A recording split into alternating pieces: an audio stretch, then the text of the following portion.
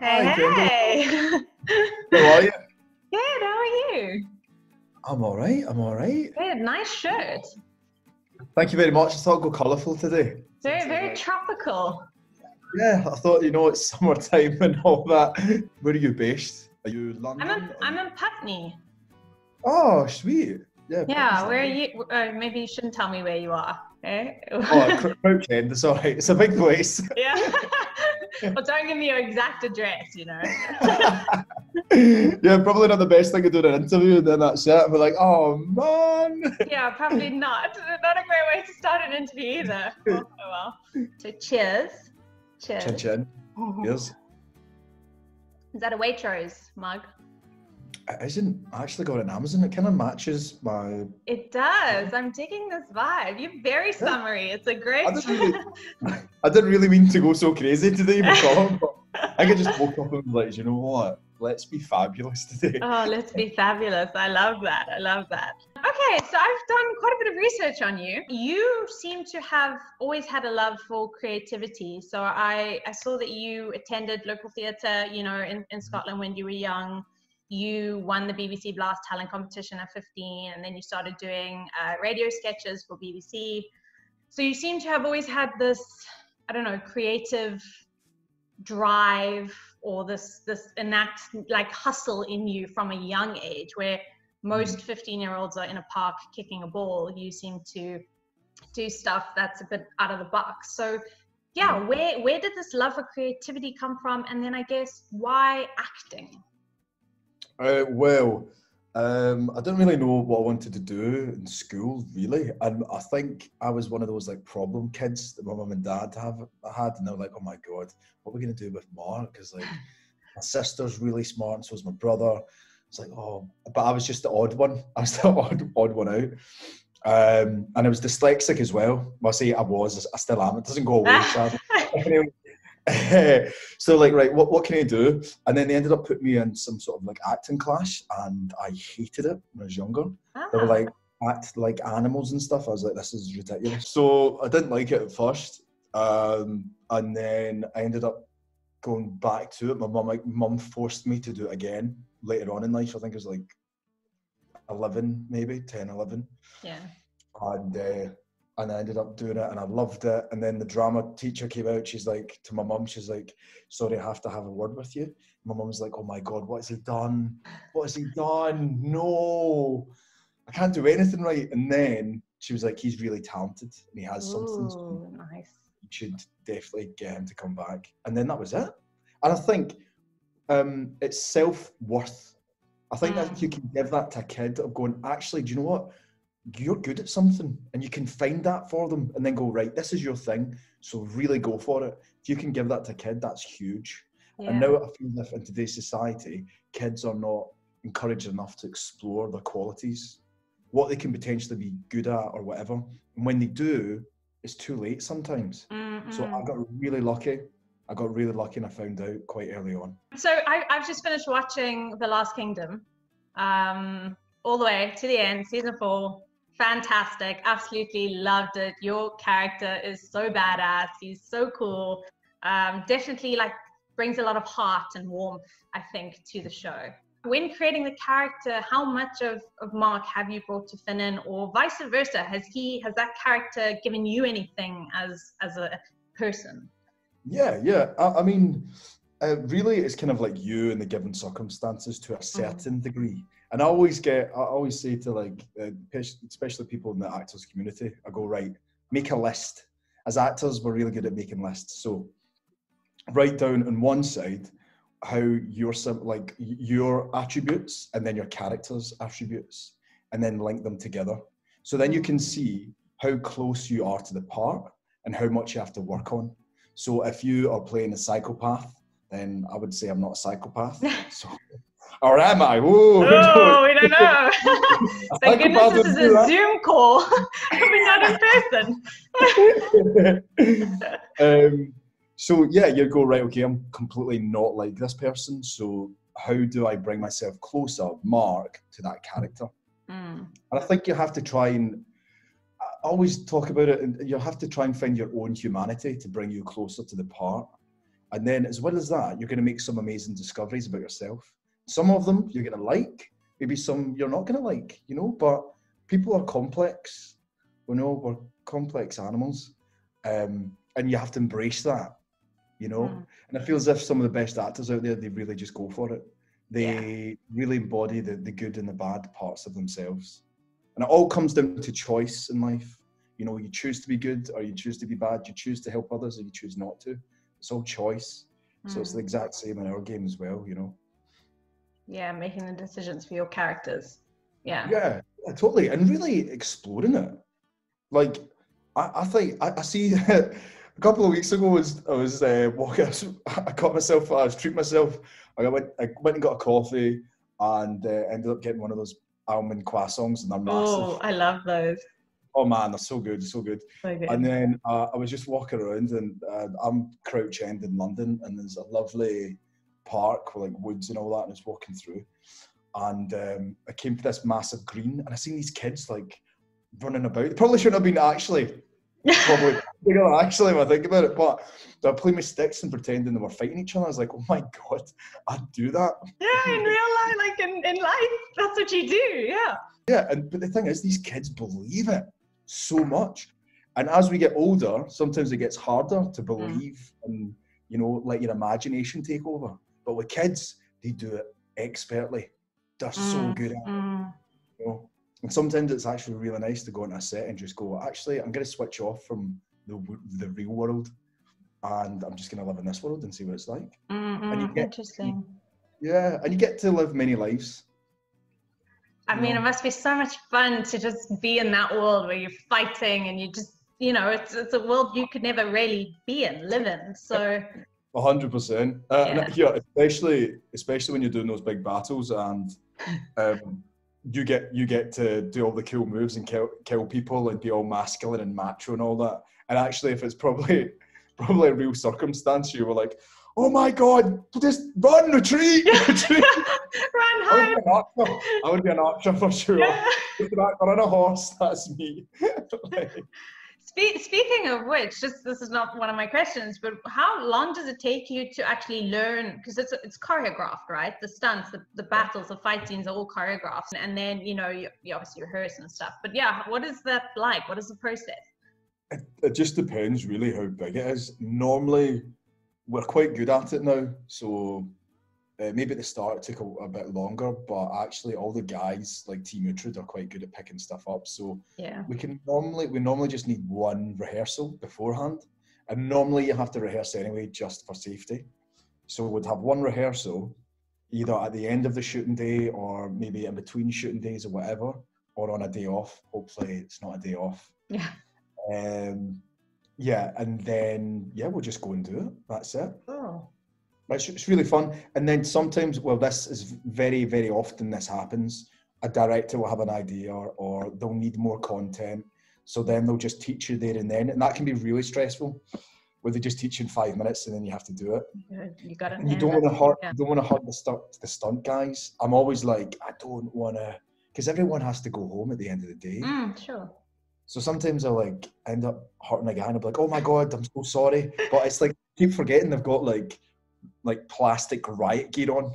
Yeah, so protection. Yeah. Yeah, and it's plastic swords anyway. You know when we're fighting. apart from close-ups, then we use real something sometimes. But um, yeah, I'm like, oh my god, I'm so sorry. I am so sorry. Yeah. so we're playing these macho warriors, and then we're like, oh my god, oh my god, oh yeah, beer. I'm so sorry about that. Oh my and then they're like, hey, be more aggressive. It's fine. It's okay. I don't want to hurt you. Really toss me. Really do it. And I'm like, ah.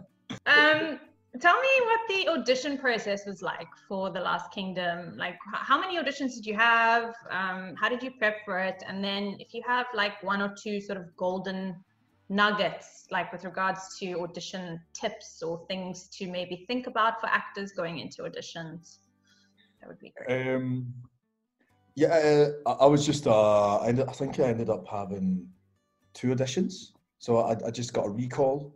Uh, so I ended up going in, doing the piece, and then getting a recall, meeting the director and producer and the casting director, and then that was it really. Hmm. Um, Yeah, it's quite it's quite a simple one. Yeah. But I learned previously, like a year and a half before, I actually went up for season one to play someone who was killed with an arrow. Oh, think- really? One, yeah. And I only clicked the other day because you only get you don't get the full scripts out. Sometimes you you just get the sides just for protection. And uh, yeah, that went really, really well. Maybe that's why the casting director got me back. But I think me uh, rolling around on the floor, pretending I've been stabbed and shot with an arrow really worked. But the director was like full on, like taking the camera off and going right into my face and me using the discomfort of it and all that. And it was really fun. I was like, that is the craziest audition I've ever had. But the actual one for Finan was was quite easy and it was really fun as well. I, I, I would say the biggest thing, if I could tell myself when I was younger, um, book the room, not the job. Mm. That's the biggest thing. So many young actors out there, they get it wrong. They don't book the room. You know, there's so many things out there that are going against you. Like especially if they're trying to, like a casting director's trying to build up a family. So they might cast the father first, who's the main actor. He might be an A-lister, and maybe you're really good for it, but actually you don't look like a family, so the job's not going to go in your favour. So there's so many things that are just out of your control. So concentrate on just doing good work. And Mm. eventually, if you do good work consistently, that director, casting director, will find you a job. Mm. He will get you one. I swear that is how it works. But so many people just try and concentrate on booking the job. Look, you just turn up and do your work. That is it at the end of the day. You know, you go here, this is my interpretation of the character, this is all my work. It was lovely meeting you. Um, let's just get to it. And then whether or not you want me, great. If you don't, then it's fine. At least you can see, you know, my talent or how Mm. much I've actually put in. Yeah, exactly. I've I've been in so many webinars over this lockdown period with casting directors, and they so many of them say that we'll bring you in, do your best, but we might only find a role for you in five years' time, but we'll remember we'll remember you. You know, and it's Yeah. happened where it's literally been about five years, but they've remembered that one actor and they thought, right, this is the one, this is the one that they're perfect for, and brought them in, and you know, then they end up getting it. Um, Sure. Yeah. I, I think a- I think a lot of people as well. Um, they come they come into the audition room and it's like any meeting really. You know, they want to be loved and liked and wanted. Sometimes the needs are stronger than the material, and you're like, no, just concentrate on your work. That's it. That's the thing that's going to get you the job. Be a nice person, yeah, for sure, but just concentrate on on your work, what you're good at. Mm. So you don't have to get them to like you or love you. Just be friendly, be nice, and then go here. This is my work. Boom. Yeah. Be present. Hopefully, yeah, you make a big impact. Um, right. So you have booked the role Mm-hmm. and uh, you now have to prep. So I'm super intrigued what your process is. And I know, you know, it's, it can be, this could be a whole nother subject in its own, but um, what do you do to the text to bring your character to life once you've been given the script and you have an idea of the story and where your character is going? Um, so first, first of all, I'll do. I call it detective work. Mm. So I'll be a detective, and I'll try and find out more stuff about the character, and I'll try and analyze them. So if you ever see a detective when they're interviewing someone, they want to know Mm. everything about them. You know Mhm. their motives, what makes them tick, their their psychology, and that's the way I look at it. So then I'll look for evidence in the text, and then I'll try to build up this kind of character, the structure. And then once I have a structure, then I can start to, you know, put little things in here and there. But as well as that, I think it's important to know, first of all, where you fit in in the entirety of Mm. show, the play, the film. I think there's so many people out there who just get caught up in their own little world. And you're like, hey, man, what is your real role here? It's to help the story along. It's to support the main actor, to help him tell his story. How can you help him?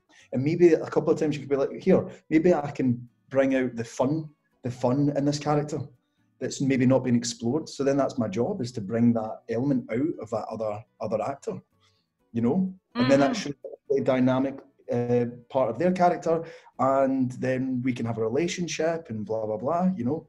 Mm. Um, I always say if you are, I, I don't know, making coffee in a movie or whatever, then it's, you've got two lines. That's it. Just make it really simple. Yeah. Really simple. You don't have to go crazy. You go overboard with that. Yeah. If you go overboard, you can make too much of it in the Yeah, you're like, what? Know, like, what is happening? yeah, stop trying to steal the scene. Yeah. like you're there just to carry it along. Uh, so yeah, um, break break down the text, break everything down, um, and then know know your place within it. And then I've got ways of like I've got several lists. A lot of uh, actors do that as well. Mm. Maybe make a list of like what people see about you, and then what you see about others, and then you're, again that's you gathering evidence.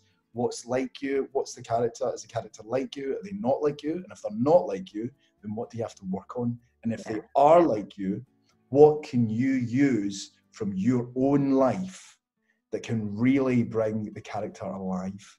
Mm. You know, and that's the vulnerable part. You know, and I think that's the thing with our job is that you need to be brave. Yes. You need to be a bit fearless and you need to open up and be open. And sometimes that's so vulnerable to do that, you know. And as guys from the west coast of Scotland, you're taught no matter what in life, don't cry, doesn't Yeah. don't show any emotion, that's it. But actually, it's nice to open that up and then, you know, show people out there that, you know, like, you know, people are in pain as well. And you're watching Mm. someone on TV, and hopefully, if the piece has a message, then you can connect with the audience and it Mm. makes them contemplate their life or it makes them just think or have a debate. So Yeah. I think there's a lot of people out there um, who, you know, it's just, we, we think it's just for entertainment, but art does have the power to make people think, Oh yeah, you know. totally. you know, um, and you can see that just throughout time. When the, the Greeks, when they were educating the populace, they were doing plays for like five hours, six hours, Mhm. debating after it, you know, these massive big ideas. Uh, so yeah, I think we do have that power in us. And we and we call that well, I, I call it the, the big idea. So if I end up picking up a piece of text or a show and it has a message that's bigger than me, I Mm. will make sure it's my responsibility as the actor, as the performer, to make the audience aware of this issue and then present it to them. And it's up to them what they want to do with it. And then there are other jobs where you just do it for cash. Yeah, 100%. Yeah, yeah, yeah, yeah. yeah, you know, I mean, when you, I, I need to survive. yeah, exactly. Need Eh, to pay the rent. yeah, we need to Yeah, pay- pay- literally. sure. But the times that you do get those really nice pieces, um, yeah, it's just great to it's great to work on. But does Mm. that kind of cover it? I feel as if, man, I can speak for hours. No, I've I mean that's that's one I've got, yeah. fantastic. I mean, I, I would love to like sit and really break it down, but I mean, I, I've got so much I, I want to know from you. But no, that I mean that's perfect. It's um, yeah, it's your process, and you know, there's little bits and bobs there that who's ever watching will hopefully take something away from that, um, as I already have. So, um, yeah, just bring your truth, eh? Just bring your truth. That's it, and that's the scariest Yeah. part. Yeah, exactly. It's the, the being vulnerable, and it's it's opening that part up to Yeah, the world, which can be very scary. embracing it as well. Yeah. Really embracing it and going for it. You know, Yeah, yeah. the good, the good, the bad, the ugly. Just run with it, and I Everything. swear, yeah, just let your impulses come forward, and you know you'll start to do really, really good work. Yeah, yeah. So you've you've okay. So we've we've gone through your um, text analysis and all of that. You're now on set, and the director says action. How do you, as an actor, ensure that all your character choices come through in the scene once they've said action? When you have time constraints, you have nerves, which I'm sure everyone gets nervous. You have other actors that have prepped a different way. Uh, there's so many different elements on set. So how do you maintain that focus and get the take that you intend to get? Good question. Um, I feel as if that's where that's the difference between you know a civilian and an actor, or someone who's coming on. I know that they do a lot of uh, street castings, and I think Mm. that's the difference between an actor and just someone who's been picked off the street. Is that you know minutes are like equivalent of thousands of pounds at a time. You know, so you need Yeah. to be on it and ready and focused. And I think it just comes down to preparation. That's Mm. it you just you prepare and you prepare and you prepare and you're ready for it no matter what you know so if someone does spoil your shot or we end up doing it if we're doing a scene together and someone's carrying on at the side of camera, then it's enough just to get by and I can concentrate my attention on you and then just get mm. the scene over. Mm. And then at the end they'll be like, mate, come on, yeah. ah. technique and you know, it really does come into it. But um I think people just have their own process. Mm. Like I like to listen to music if I've got a really stressful scene coming up. I remove myself from the set. Like I'll, I'll just go off and spend a little bit of time with myself. Um, make sure I don't get caught up on in the drama of the set. Like if we've only got five minutes, ten minutes to shoot it, then I make sure that I, I don't bring that stress onto the onto the screen because mm. you'll see it. So it's about removing yourself. A lot of people listen to music, so some people just some cast members just talk to themselves yeah. and then you can just go into it. It just completely depends on the on the mm. scene. And but probably that day I've already prepped and prepared. But what I love to do is on the days when I'm you're on the makeup chair, is I'll get my sides. Mm-hmm. Well, they'll, they'll give you sides anyway, just in case. And I'll take a pen or a pencil and I'll just start to jot down ideas, just loads. And then I'll put it down into maybe I'll pick three that I think are really good so that if I do do them in the scene, I'll like, actually, I had a go at it. I managed to rehearse it. I, I tried it out, didn't work. But sometimes you do try it and it does work. But I'll, I'll have three key ideas and I'll just go for it. Mm. And uh, and that means I'm, I'm doing something new and yeah. Always thinking, you know. Are you are you at a stage now after playing Finan for three seasons, right? It's three seasons um, where if they had to quickly add in a new scene, I don't know if this does happen on The Last Kingdom sometimes, but are you at a place where you're so comfortable with Finan that they could give you a scene and say, you've got an hour, we need to do this, and you could prep? Or does that not really happen on, on, on your set or?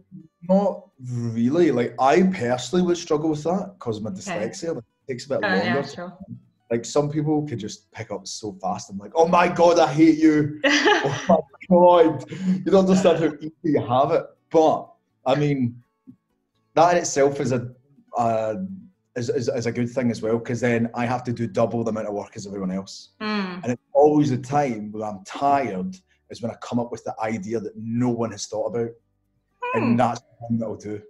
And that's the one. So anytime that I overdo it, overdo it, or whatever, well, I feel as if I'm getting to the stage where actually I've got it now, I'll pick something up, I'll find something I didn't even know was there. And that is real art. When you mm. find something you didn't even know existed, and you're like, boom, that is it. That's the thing in the scene. Let's That's run with that. gem. Yeah. That that is the gem. Um, but yeah, we don't really do that on the show. It's we're pretty much on it. I think it's because we've got a lot of work to get through. There, the writers have to be prepared. So all the drafts have to be done by probably I think it's two weeks before we start filming. Ah. And yeah, we do get rewrites, but there'll be small changes. Well, hopefully. Mm. Hopefully, hopefully, hopefully, hopefully. Um, so I have, a, I, have a, I have a question just going back to preparation. Do you think an actor can be over prepared? Do you think that can being too over prepared can then take away from the magic of whatever it is that you're trying to find? Uh, yes, yes, yes, and no. I think you've got to um, have lots of ideas, mm-hmm. and then you've got to turn up on set and have an idea of where you want to, what you want to show, what you want to show the audience. Because um, we're telling a story at the end of the day, so how, how do we want to show the audience, or, or either character's journey, or how we want to uh, show the audience, like um, whatever storyline or beat mm. you're trying to convey at that particular time. But uh, you need to let it go. If yeah. something's not working, you just let it go. Or if someone gives you something, if someone acts in a certain way or they give you a certain impulse, then you should use it. And that's what makes acting really, really real and free and weirdly more free and, and liberating than real life. Mm. So I think in real life, we always have some sort of persona or act or whatever. We're all, we do it all the time, you know, when when someone's like, "Oh, how are you?" and you're like, "Yeah, I'm fine," and you're like, "Oh my god." so it's nice sometimes when you turn up and set and you're like, actually, I can use my my real energy that for that mm. day. And then if the actor's been vulnerable with me, then man, you know, I'll open up to them or if they make me impulsive and angry, then I'll just embrace it and I'll do that. Mm. I'll be more free and real in that moment than maybe other times in my life. You know, it's Mm. really strange when you think about it. Liberating. Yeah. It is liberating. And I think the more you can take that into your everyday life, the better and stronger you are. We've all met people like that who, especially as they get older, it's that um, they don't give a fuck mode. And it doesn't Mhm. mean they're an absolute dick. It doesn't mean they're not a nice person. They're just upfront and honest, and that's so good. Yeah. Refreshing. Yeah, it's refreshing. So refreshing because you just know where you stand with everyone. You know, it's like, ah, Talk to me about the actors community. Um, so we mentioned it earlier, but now I just want to hear a little bit more. What inspired it? Was it a uh, lockdown passion project, or is this something that has been, you know, an idea that sort of you wanted to do for a while? Um, and yeah, it's got a really cool initiative with the, you know, raising funds for the NHS and, and that kind of thing. So just yeah, tell us a little bit about that. yeah. Um, so I've always kind of wanted to set something up just to help actors out, like young actors specifically, or people just breaking into the industry who just need more knowledge. Um, but just not, I've not had the time to do it. So as soon as this happened, I was like, well, now is the time because there's no acting work. time. lots of time. And I was doing a job at the time, and that ended up stopping. I was we ended up filming in Rome. It was like on the epicenter near enough. I was like, oh my oh god. goodness. Right. So I was like, right, let's just do this. And uh, I ended up reaching out to all my friends who, you know, their shows had been cancelled or paused. And so there's actually quite a few members in the the Last Kingdom helping out. Mm. Um, but yeah, we just, we just all kind of got together and went, look, why don't we just try and help people out?